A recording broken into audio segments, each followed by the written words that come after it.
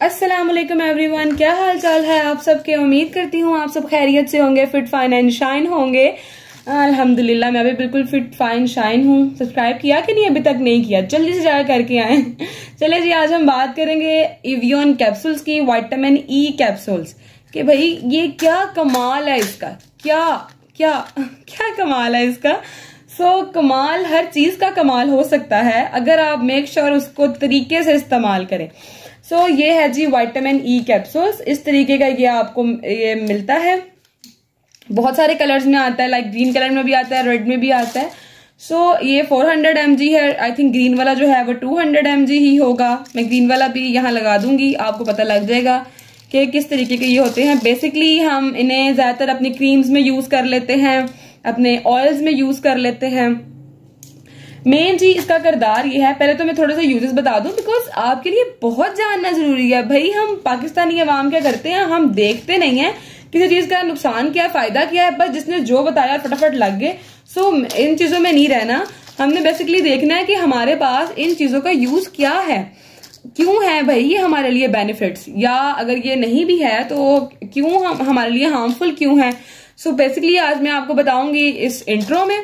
पहले तो मैं आपको इंट्रो देती हूँ देन मैं आपको इस वीडियो में बताऊँगी। बेसिकली वाइटामिन ई जो कैप्सूल्स हैं, ये आपके, जब आपकी स्किन में जब कमी हो जाती है ना वाइटामिन ई e की तो आपके जो है वो हेयर गिरना शुरू हो जाते हैं, आपके नेल्स अच्छे नहीं रहते, आपकी स्किन डल हो जाती है। लाइक like डिहाइड्रेशन आपके फेस पे हो जाती है। जितना मर्ज़ी भर भर के लोशन लगा लें बट वो उड़ जाता है। सो so, बहुत से लोग इसको खाने में इस्तेमाल करते हैं। डेफिनेटली ये खाने के लिए ही है लगाने के साथ साथ खाने के लिए भी है।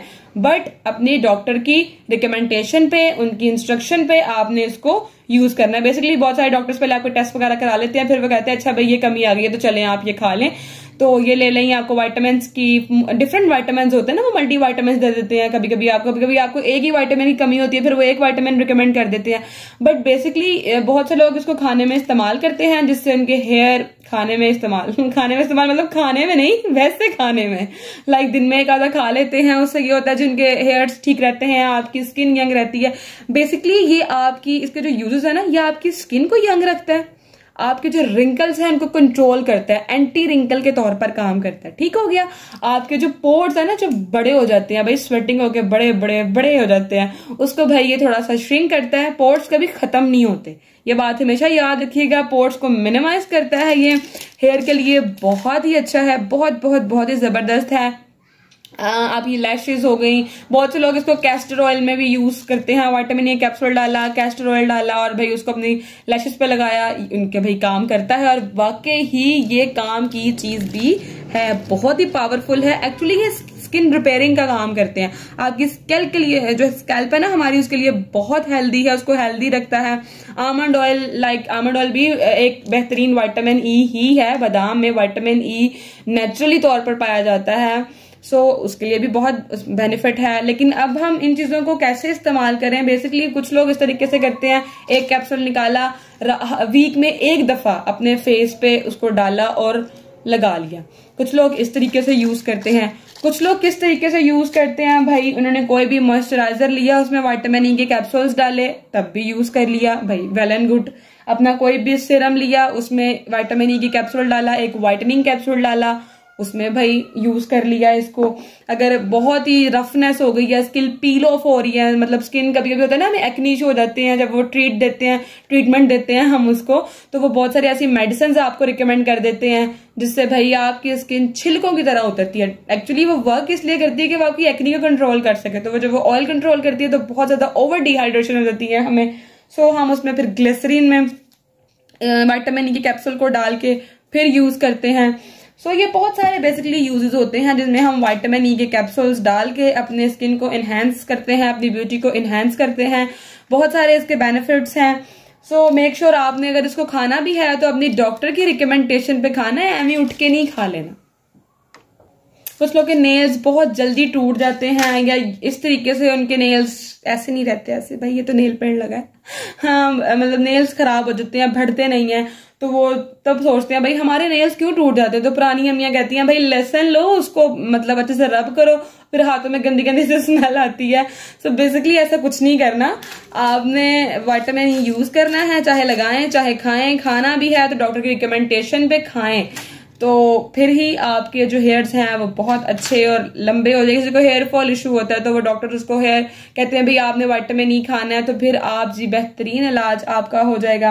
एक्चुअली ये आपकी स्किन को ना हाइड्रेशन प्रोवाइड करते हैं। आपने हमेशा याद रखनी है कि ग्लोइंग स्किन ही एक हेल्दी स्किन होती है। अगर आपकी स्किन ग्लोइंग नहीं है ना आपकी स्किन हेल्दी नहीं है सो so, आप उस पर कोई मेकअप भी अप्लाई कर ले वो नहीं चलेगा। बहुत से लोग क्या करते हैं मेकअप से पहले भी वाइटामिन ई का कैप्सूल जो है वो यूज़ करते हैं। मैं आपको दिखा देती हूँ कि किस तरीके से ये निकलता है इसमें से मटेरियल ये जी एक कैप्सूल है। इस तरीके से रेड कलर का ये कैप्सूल है।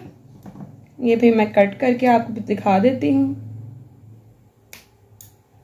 ये जो मैंने कट किया। इस तरीके का जी इसके अंदर से लिक्विड निकलता है। अच्छा खासा लिक्विड इसके अंदर से निकलता है। अच्छा खासा। ये देखिए ये आप देख रहे होंगे। थोड़ा सा ग्रीसी है बट अगर आप इसको किसी लोशन में ऐड कर लेंगे तो आई थिंक ये नॉन ग्रीसी बन जाएगा। इस तरीके से क्या करते हैं, वो वीक में जी, एक दफ़ा अपने पूरे फेस पे अप्लाई करते हैं और सो जाते हैं। डॉक्टर्स कहते हैं, जी, हफ़्ते में एक से दो दफ़ा आप इसको यूज़ कर लें। भाई, इस हाथ पे भी लगा दें। ये बेचारा इसके इस्तेमाल में ही नहीं आता। है हमेशा मैं आपको सारी रेमेडीज जो करके दिखाती हूँ ना, वो इसी हाथ पे कर, करके दिखाती हूँ। इसने चिट्टा हो जाना है, इसने काला रह जाना तो ऐसा नहीं करना, भाई, इस पर भी लगा लें मेक श्योर जब भी कोई क्रीम वगैरह अप्लाई करें तो अपनी गर्दन पे भी अप्लाई किया करें। भाई, अपनी नेक को मत इग्नोर किया करें। वो भी हमारा ही हिस्सा होती है। जो क्रीम बचती है, उसको इस तरीके से हाथों पे लगा लिया, अपने नकल्स पे लगा लिया। आपने देखा होगा, हमारी अक्सर सर्दियों में इस तरह के जो नकल्स हैं, वो डार्क हो जाते हैं। बिकॉज़ उनमें डिहाइड्रेशन हो जाती है हमारी स्किन में तो वो नकल्स डार्क होना स्टार्ट हो जाते हैं। तो कोशिश करनी है नकल्स डार्क नहीं होने देने, हाथों को मॉइस्चराइज रखना है। किचन का काम जो लेडीज़ करती हैं, उनके हाथ बहुत खराब हो जाते हैं, उनकी एड़ियाँ बहुत, उनकी हील्स तो मैं कहती हूँ फट जाती हैं। सो इसका बेहतरीन हल यही है कि आप ग्लिसरीन लें वाइटामिन ई का कैप्सूल डालें और अपने हाथों को रात को सोने से पहले अपने हाथों पे मसाज किया, अपने पैरों पे मसाज किया, अपनी एड़ियाँ जहाँ से फटी हैं, वहाँ भर भर के अपने लगाया। या आप उसी वैसलिन में वाइटामिन ई जो है, कोई पेट्रोलियम जेली जो भी है, उसमें ऐड करें और अपनी हील्स पे लगाएँ।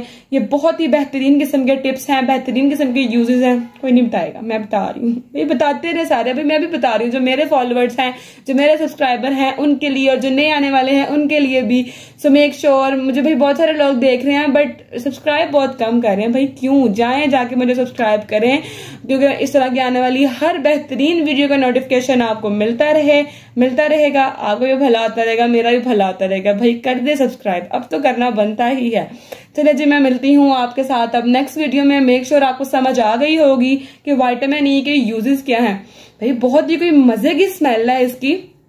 लगाएँ, ऐसा लगता है कोई कैंडी आप खा रहे हैं। सो so, चले जी मिलते हैं अब। हम नेक्स्ट वीडियो में बहुत सारी बातें हो गई मुझे याद रखिएगा दुआओं में भी और मेरे चैनल को सब्सक्राइब करना मत भूलिएगा। चले जी अल्लाह हाफिज।